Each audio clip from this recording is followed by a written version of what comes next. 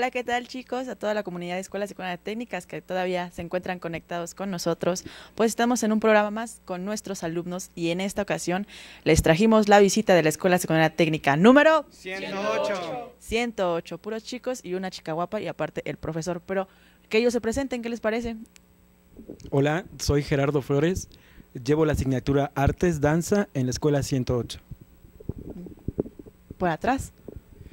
Hola, mi nombre es Luis, tengo 14 años y soy estudiante. Hola, mi nombre es Alan, voy en la 108 y soy estudiante. Hola, mi nombre es Martín y voy en la 108. Hola, yo soy Dayan y voy en la 108. ¿Y chica? Yo soy Jimena y estudio en la técnica 108.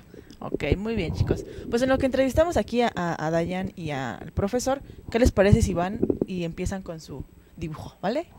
Muy bien. Pues a ver, vienen a hablarnos acerca de la historia del graffiti, pero en México, ¿verdad?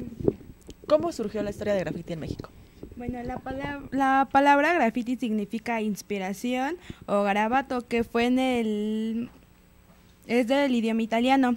El graffiti en México arrancó en Tijuana frontera con Estados Unidos, lugar ideal para el intercambio cultural, siendo los chelos quienes se apropiaron de esta expresión con la influencia de los moralistas chicanos. Sin embargo, fueron luego en Guadalajara donde el graffiti en mexicano se desarrolló con más intensidad, creando la vieja escuela de gasfiteros de México y cuna de los primeros estilos de tanks y dibujos. En la Ciudad de México el graffiti se desarrolló sobre todo en guetos y alrededor de la capital debido a la crisis económica y movimiento de la población teniendo un importante papel en su desarrollo de las pandillas, con quien se dio una primera oleada de gasfiteros. En un principio el graffiti era territorial, principaba solo en barrios, apropiándose así de ellos, comprometiéndose a no pintar barrios de otras crepes o bandas, ya que era considerado una falta de respeto y una provocación. El, origen del graffiti en México es similar al de Nueva York, teniendo el aerosol como instrumento básico y utilizando estilos como tanks, bombas, masters, piezas y murales. Aunque muchos aseguraban que en México la mayoría de veces los espacios y las obras son más respetadas, pintando cada crepe en su territorio. A ver, nos mencionas que bueno existen varios modos de rayar, ¿no? Una de ellas están los tags, las bombas y todo eso. ¿Cuál es la diferencia?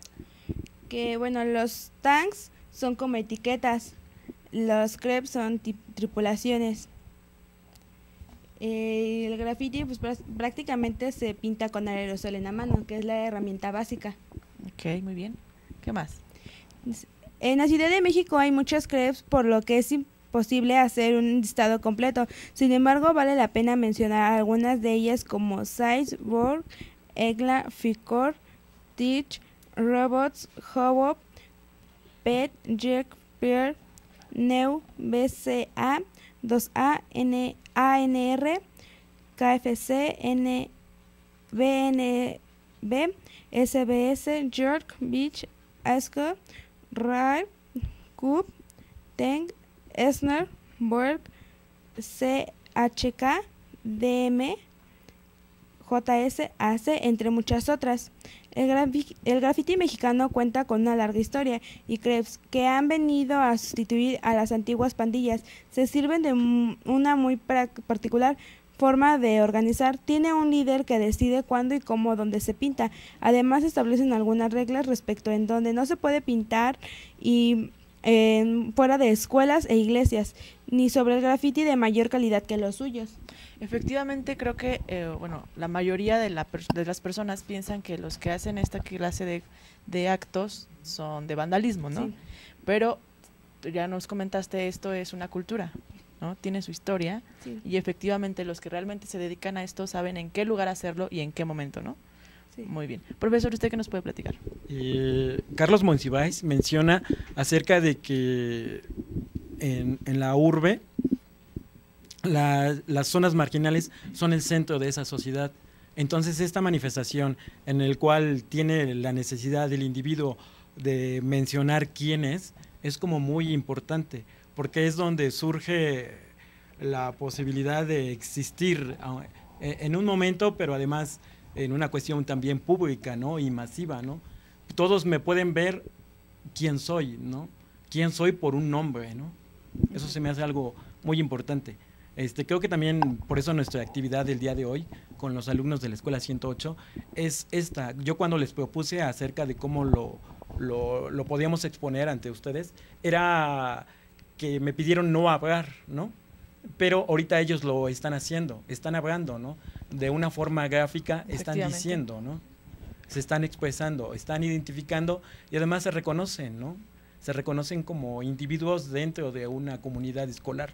Eso creo que se me hace algo esencial. Efectivamente. ¿Cómo es que escoge a estos cuatro chicos para que vengan a, a diseñarnos? Ahorita van a ver la obra de arte que están elaborando, pero ¿cómo es que los escogen a ellos? Eh, la misma comunidad los, los reconoce, los señala, ¿no?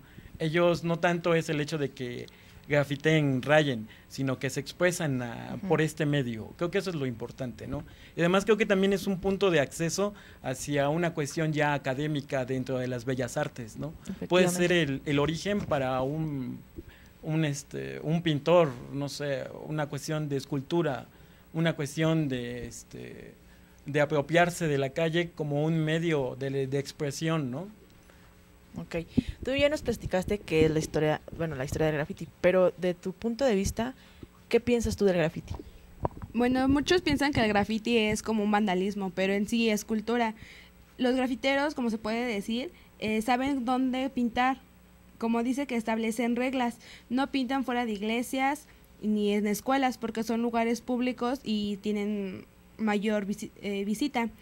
Ellos tampoco grafitean sobre otros grafitis que son mejores a ellos porque reconocen su trabajo y saben que son superiores a ellos. Ok, muy bien. Pues acompáñanos a ver aquí, a platicar un rato con, con los muchachos para que nos digan qué es lo que están realizando. A ver, ¿quién quiere ser el primero en entrevistar? ¿Quién dice yo? Ok, a ver tú.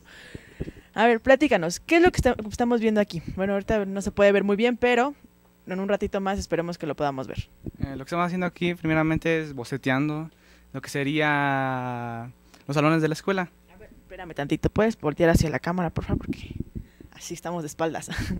Lo que sería que estamos haciendo aquí es bocetear, que es solo definir las formas más simples para después ir ya con las texturas, con las sombras, con la luz, como se puede observar más o menos aquí. Sí. Bocetear. ¿Qué tan difícil es hacer esto?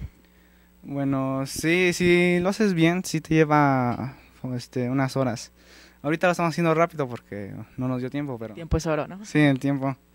Pero así, haciéndolo bien, unas cuatro horas dibujando. Sí, te lleva tiempo. ¿Hace cuánto tiempo tú llevas haciendo esto? Desde primero de secundaria. Eh, me interesó porque estaba aburrido y sí. Y, y, pues, este, me a dibujar. Me dijeron, ah, dibujas bien. Y ya empecé a hacer esto. Y para esto se necesita efectivamente saber dibujar o puedes empezar con un simple rayón o cuál es el chiste. No, sí, puedes empezar con un simple rayón. Todo. El chiste es que te gusta a ti, eh, para empezar. Porque si no te gusta algo, ¿cómo vas a poder hacerlo? Y como a mí me gustó, pues se me hace fácil. ¿Lo ves tú como un este un pasatiempo o realmente te gustaría dedicarte a una onda del dibujo? Pues la verdad sí me gustaría educarme al dibujo. Eh, quisiera también estudiar diseño gráfico. Ok, ¿y ahorita en qué laboratorio vas? Laboratorio- Taller. Este, diseño de estructuras metálicas. Ah, ok, yo pensé que te habías metido a algo de, de dibujo. Ok, muy bien. Pues a ver el que sigue, muchachos. ¿Quién dice yo? ¿Quién otro no está tan ocupado? Ay, aquí burburan de, vas, vas tú, vas tú. Ya, vente tú, vente. a ver, tú platícanos, ¿cómo fue que te interesó esta onda del graffiti? No, pues por lo mismo, ¿no? Como un estilo de aburrimiento, veía así las calles que estaban pintadas, ¿no? Y yo decía, o este le quedó muy bien, o ese está muy, o sea, muy padre, ¿no? Y ya, así fue como me fui interesando, ¿no? Después lo conocí a él y ya, como vi que hacía buenos dibujos, pues nos empezamos a juntar un poco, ¿no? Y ya hablamos de todo lo que fuera el graffiti y todo eso, ¿no? Y ya nos empezamos como a hacer un grupito de amigos. Y ya solamente. Y ya solamente por eso te gustó, muy bien. ¿Y tú qué opinas del graffiti, este, así personalmente? Pues la verdad me gusta mucho. Ok, muy bien. El que sigue, compañero, ya, tú, te toca. Ahorita, todos nerviosos, no quieren hablar, porque... A ver, tú, platícanos, ¿por qué te interesó esta onda del graffiti? Pues porque en realidad la verdad no estábamos muy cotizados en eso, sino que necesitábamos expresar nuestros sentimientos ante dibujos. Sino nada más no realizar un simple rayón como todos dicen en la sociedad, sino intentar sacar nuestro sí en confort. Tratar de expresar todo lo que sentimos en un simple dibujo, como ustedes lo piensan. ¿A ti también te gustaría dedicarte a algo del dibujo o simplemente es un pasatiempo? No, sí, también me gustaría dibujar o irme a una carrera expresiva de eso. Ok, muy bien, pues muchas gracias. El que sigue, el último ya. Los últimos siempre serán los primeros, ¿verdad? Muy bien, a ver, tú cuéntanos, ¿por qué te gusta el graffiti? Porque, pues, para que me desaburre. Te desaburres, o sea, tú sí lo ves como un pasatiempo. Pues sí, ¿A ti no te gustaría dedicarte en un futuro a una carrera así de dibujo? no. ¿No? ¿Y cómo fue que iniciaste con esto? Pues me conocí a ellos y me, empezó, me empezaron a enseñar a dibujar y ya de ahí empecé. ¿Tú no sabías dibujar? No, ¿Y cómo, qué fue lo primero que dibujaste? pues así como un dibujo de la secundaria. ¿Hiciste la secundaria? Sí. ¿Y qué tal? Pues sí, me gustó, me empezó a gustar y ya empecé a dibujar. ¿Es difícil? Más o menos. Más o menos, ok. Muy bien. Pues díganle con, con esto para que al final del programa pues enseñen un gran avance, ¿vale, chicos? ¿Se da cuenta? Esa cuestión de autogestión, autoconocimiento, autoexpresión, cómo el graffiti les permite, o esta expresión les permite conjuntarse, ¿no? Y les permite, no sé, dirigir tal vez este, aquello que sienten y manifiestan eh, en algo que puede tener un tiempo, espacio permanente, ¿no? En la escuela, los, no sé, ¿tienen algún espacio para hacer realizar esta clase de actividades? ¿Lo planean hacer o...? Eh, hay actividades dentro de la Dirección de Innovación, eh, realizan algunos programas en donde se plantea un proyecto y si el proyecto resulta ganador se puede realizar dentro de las paredes de la escuela y proporcionan también este, los materiales y la asesoría por parte de innovación y fortalecimiento académico de la dirección. Ok, ¿Y a los chicos cómo los ve en el momento en que le dije, bueno, lo- usted les comentó, vamos a ir a televisión, me van a ex- expresar una obra de arte? ¿Cuál fue su sentimiento? Por supuesto que vamos. Sí, Por no, supuesto, sí, sí. por supuesto, ¿no? Y esa necesidad de, de tal vez no sé qué voy a decir, qué voy a hacer, pero lo voy a hacer, ¿no? Yo creo que eso es lo más importante, ¿no? Eh, participar ya nos permite tener la experiencia y vivir esa experiencia. Por consecuencia, tener ese conocimiento que ya lo puedo yo aplicar para ya una enseñanza. Esto ya es una enseñanza. Están enseñando quiénes son ellos, ¿no? De dónde vienen, ¿no? Y efectivamente, lo más importante es de que muchas veces, pues la gente se va por una moda o no sé, simple seguir a los amigos. Pero lo padre de ustedes es de que conocen ya cómo surge esta onda en México, ¿no? Entonces ya si la gente les pregunta, oye, ¿tú por qué rayas? No, no, ya rayo, yo estoy haciendo una obra y es por esto, es por aquello y por lo otro, ¿no? ¿Tú qué sentiste en el momento de que te dijeron, vas a ir a tele? Eh, pues se sentí como que nervios. Va- Van a verme varias personas, pero a la vez emocionada porque pues, conozco otras otros lugares. Efectivamente. ¿Y tú qué dices que no, no estás muy, este, pues, desarrollada en este ámbito de- del graffiti? ¿Qué tal? Ahorita que lo investigaste, que ya te enteraste un poco más, ¿qué opinas? Pues que antes pensaba que era como que vandalismo, personas que se dedicaban a, a rayar la- los muros contra las autoridades, pero en sí no, que es como una obra de arte donde se expresan las personas, porque algunas veces no son escuchadas y mediante los dibujos se van expresando. Se da cuenta la gente que no es vandalismo, sino que es una obra de arte. Ok, muy bien. ¿A ti te gusta dibujar? Eh, sí, pero no sé. No sabes, pero te gustaría aprender. ¿Y por qué no le dices a uno de tus compañeros que te enseñe? Pena. no, ok, muy bien. Pues ya después de aquí ya aprendan a, a dibujar, ¿vale? Maestro. Si el arte es como la síntesis de una comunidad, puede haber la información suficiente en lo que expresan aquí como para poderse eh, poner en un plano no tanto del arte así entendido como tal el, el grande arte, sino el arte de ellos, el arte de los jóvenes, ¿no? Y creo que eso también es algo muy importante. Más allá de acercar ese gran arte a ellos, ¿por qué no nosotros nos acercamos a su arte, ¿no? A donde ellos se manifiestan, en donde ellos son, ¿no? Para poder comprender eh, toda esa información que nos vierten en eso que ellos están creando, construyendo. Efectivamente, ¿no? Es muy importante ver lo que piensan los chicos y qué mejor si lo quieren dibujar, eh, bueno, más bien lo quieren expresar dibujando, pues es una parte muy importante y efectivamente van conociendo lo que es el arte, ¿no? Sí, ella es su arte particular, ¿no? Y además, eh, creo que en este sentido eh, se apropian de algo que no, no es tan efímero, ¿no? Como las artes escénicas. Las artes plásticas tienen eh, su, su tiempo-espacio de más de mayor tiempo, ¿no? Y eso es muy bueno, ¿no? Ellos pueden ver y pasar cada vez que lo ven, eh, ese fui en ese momento, ¿no? Ahora soy otro, ¿no? Y hay diferentes historias que van contando en ello, ¿no?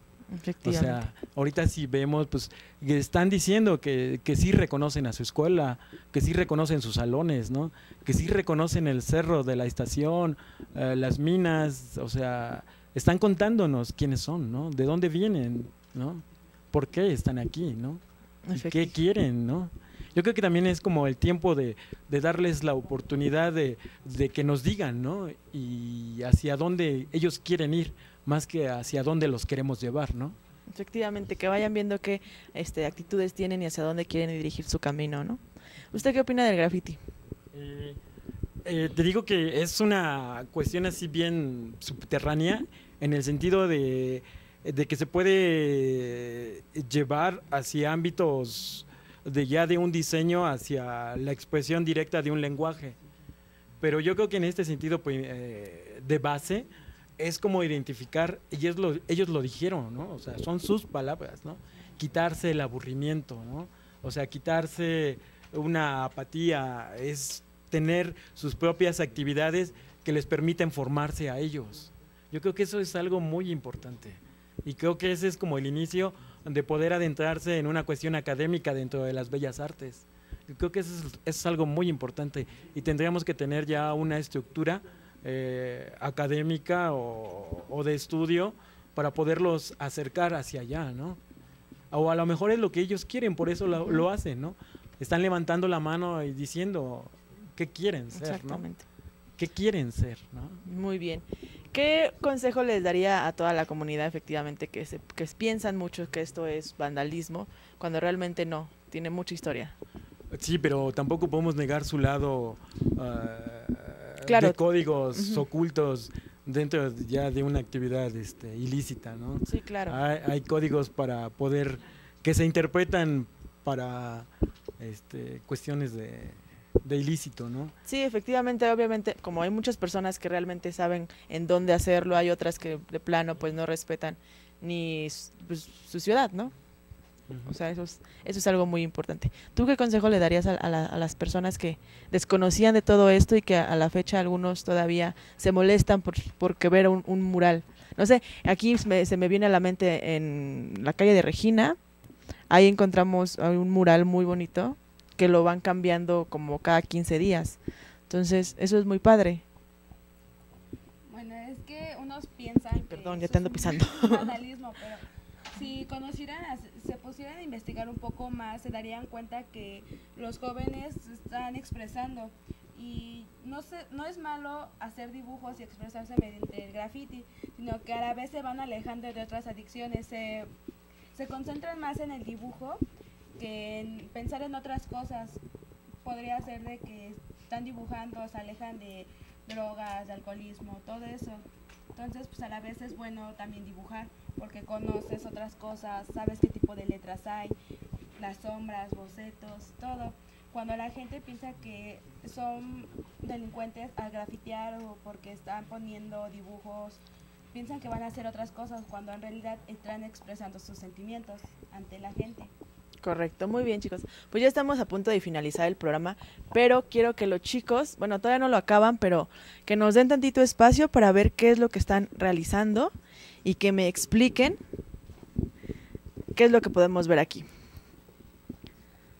Aquí todavía siguen ahí. ok, muy bien. A ver, esa parte que estás dibujando, ¿qué es? son el aula. Ok. Allá tenemos. Esto blanco va a ser lo que son las luces. Ah, pero espérame, sí es cierto. Ay, yo te estoy preguntando y el micrófono. A ver, espérate. A ver, y ahora sí, a la cámara, porfa, ¿no? Bueno, Entonces me comentabas que esto son las aulas, ¿no? sí, está pintando las aulas mi compañero.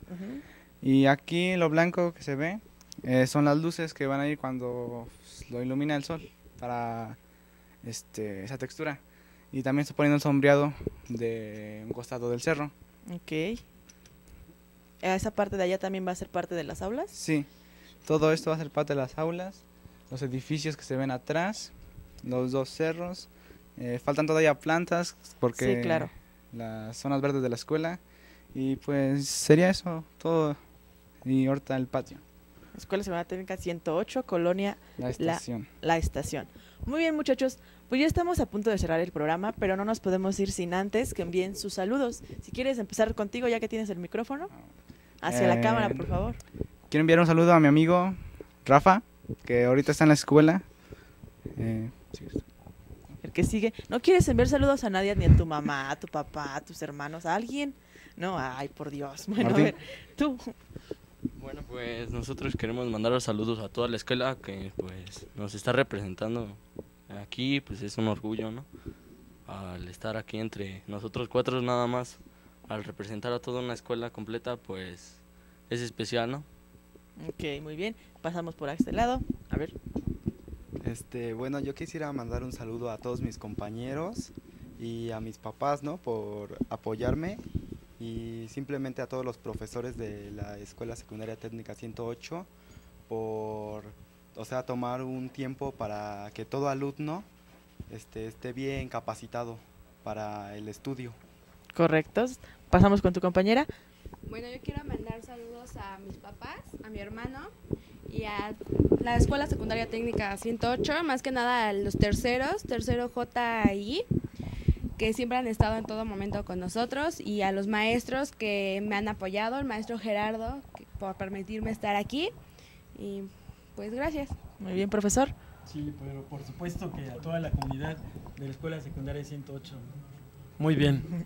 Ok, pues les agradecemos que hayan venido aquí y se hayan dado el tiempo para realizar esta, esta obra de arte. Y los invito a que cuando, obviamente ahorita no la pueden ver este, terminada, pero ¿qué les parece si cuando la terminen nos envían una foto para que nosotros la publicamos a través de nuestras redes sociales? Ok, ¿Ah, ¿cómo ¿Está no? todo hecho? Muy bien.